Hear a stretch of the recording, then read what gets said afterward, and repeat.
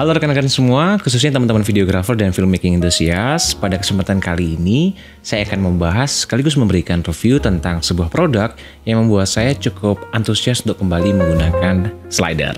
Dan inilah Micro 2 Plus Motorized Slider dari Zepan. Oh iya, nama saya Riko Dias. Apa kabar?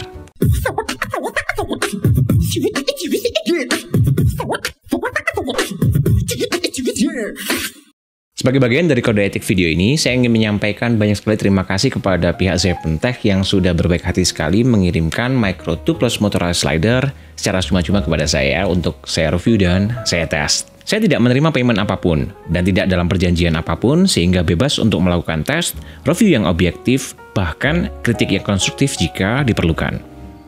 Seluruh narasi dalam pengambilan video ini tidak melalui screening dan persetujuan dari pihak Seven sebelum ditayangkan. Bahkan pihak Zepan meminta rekan-rekan semua yang melihat video ini untuk memberikan masukan jika ada.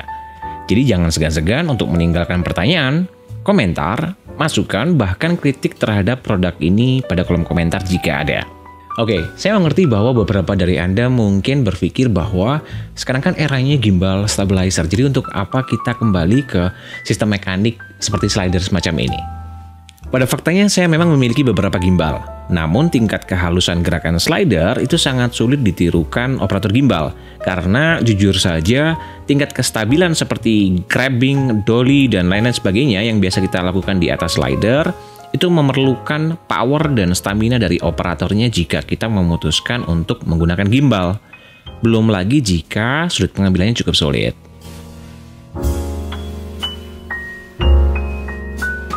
Oke, langsung aja kita bahas seperti apakah Micro 2 Plus ini, untuk siapa, dan apa yang membuat produk ini mungkin Anda butuhkan.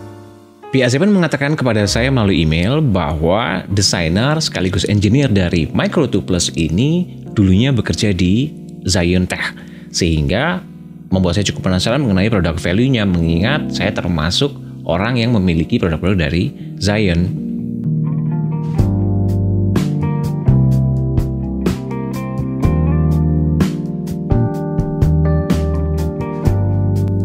From out of the box, produk ini dilengkapi dengan buku manual yang wajib Anda baca karena seluruh operasionalnya menggunakan beberapa kombinasi tekanan tombol. Terdapat juga sebuah kabel USB yang berguna untuk melakukan firmware update. Lalu di dalamnya juga terdapat sebuah belt sebagai pengganti jika Anda ingin menggunakan produk ini tanpa unit motornya.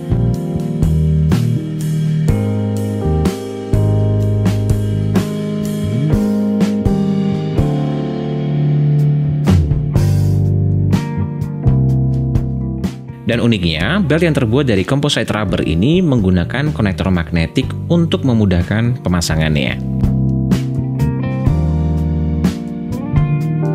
Di sebelah unit utama terdapat sebuah pouch yang di mana menurut saya akan lebih memiliki value lebih jika Zeppon menyertakan hard case. Mengingat nilai investasi dari slider ini sendiri tidak murah. Atau setidaknya untuk melindungi unit motor elektriknya lah.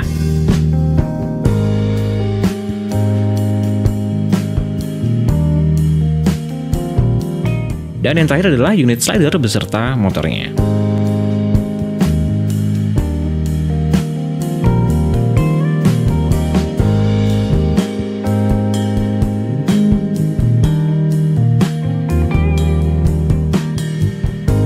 Tadi saya cek di online marketplace, slider ini bergerak di harga dalam rupiah ya, itu 6,5 juta rupiah dengan harga sedikit di atas rata-rata motorized slider pada umumnya, maka saya rasa kita bisa membuat bare ekspektasi yang ya lumayan tinggi lah. Yang pertama tentu saja materialnya yang terbuat dari aircraft grade aluminium, di mana ini cukup menjanjikan dari sisi durabilitas dan bobot yang ringan untuk kemudahan transportasi. Dan sekedar informasi, berat dari slider ini berada di 1,3 kg, dan unit motornya berada pada bobot 700 gram, sehingga keseluruhan unitnya berada pada angka 2 kg. Slider ini mengadopsi sistem pergerakan yang menggunakan belt yang terbuat dari fiber reinforced rubber, dan di mana ini akan membuat movement dari slider ini relatif tidak memiliki suara jika dibandingkan dengan slider lain yang menggunakan roller bearing dengan kontak langsung ke rail sistemnya. Cara melepas dan memasangnya juga cukup mudah karena dibantu dengan quick release yang mengadopsi sistem magnet.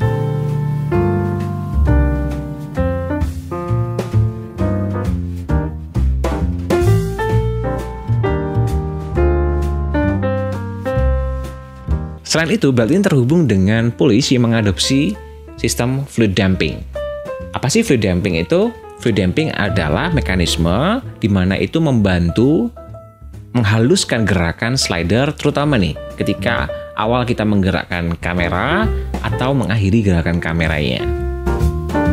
Pada ujung slider terdapat sistem penguncian belt sehingga saat transportasi di dalam tas tidak ada gerakan-gerakan yang tidak kita inginkan. Belt ini memiliki kekuatan beban yang dianjurkan sampai dengan 5 kg dan beban maksimum sampai dengan 8 kg pada sudut vertikal yang jujur membuat saya cukup percaya diri untuk memasang kamera yang lengkap dengan rignya bahkan pada sudut pengambilan yang menantang sekalipun.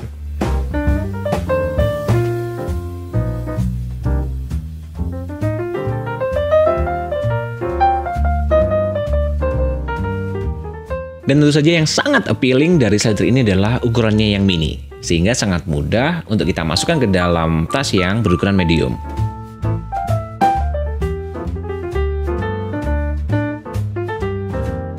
Panjang slider ini hanya 34,7 cm dengan travel distance atau jarak sliding sejauh 56 cm. Pada bagian bawah terdapat 4 buah kaki dengan ground clearance yang sangat rendah di mana ini tidak terdapat di beberapa slider lain.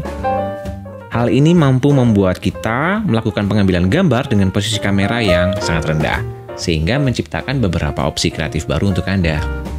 Oke, berikutnya yang tidak ketinggalan adalah unit motornya yang memiliki kapasitas beban seberat 4,5 kg. Ini cukup besar menurut kebutuhan saya yang hanya pengguna kamera full frame biasa. Motor dari Micro 2 Plus ini menggunakan daya yang diambil dari baterai Sony tipe F-series yang menurut saya cukup akrab untuk teman-teman videografer dan sangat mudah ditemui di online marketplace. Terdapat dua tombol penggerak dan sebuah tombol on-off yang juga berfungsi untuk mengatur kecepatan dan mengetahui sisa power baterai. Dan jika Anda cek di buku manual, terdapat beberapa kombinasi tombol untuk kebutuhan pergerakan yang berbeda. Dan sebenarnya Anda bisa mengunlock membuka berbagai possibility dari slider ini jika Anda melakukan download aplikasi Zeppelin Lab dari website yang sudah disediakan. Seperti yang Anda bisa lihat di sini, interface-nya cukup mudah untuk dipahami. Anda bisa memilih antara menu video atau menu time lapse. Pada area menu video terdapat pengaturan slider yang juga touch sensitive, di mana jika kita memutuskan untuk melakukan gerakan secara manual, maka kecepatan gerakan slider bisa diatur berdasarkan seberapa jauh kita menggeser panel pada icon slidernya.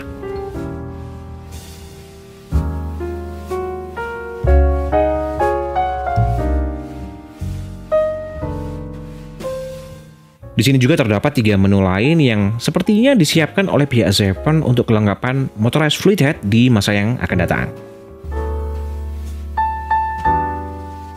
Pada area bawah, kita bisa melakukan setting di mana slider ini bisa bergerak secara otomatis berdasarkan kecepatan yang kita setting pada titik-titik tertentu.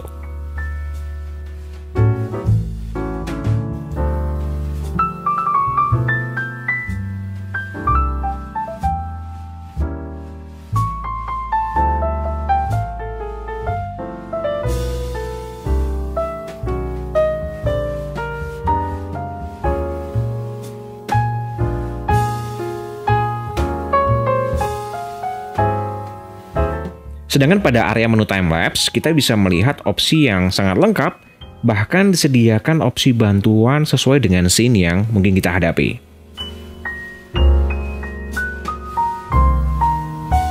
Selama penggunaan slider ini, saya merasa cukup terkesan dengan sistem belt yang diaplikasikan pada Micro 2 Plus. Saya bisa mengeliminasi ujung dari slider yang biasanya masuk dalam frame, karena bodi kameranya bergerak secara paralel dengan slidernya. Saya sudah melakukan tes penggunaan slider ini baik untuk kebutuhan casual di rumah maupun di lingkungan kerja dengan pressure kualitas yang cukup tinggi. Berdasarkan pengalaman penggunaan tersebut, maka saya bisa menyimpulkan beberapa hal. Oke, yang pertama, dengan melihat ukurannya yang sangat kecil, maka saya bisa bilang bahwa ini cocok banget buat Anda para videografer yang membutuhkan perlengkapan yang kompak dan ringkas, terutama untuk Anda yang sering banget traveling. Begitu juga dengan fitur otomatis yang tentu sangat memudahkan jika Anda seorang videografer single fighter semisal.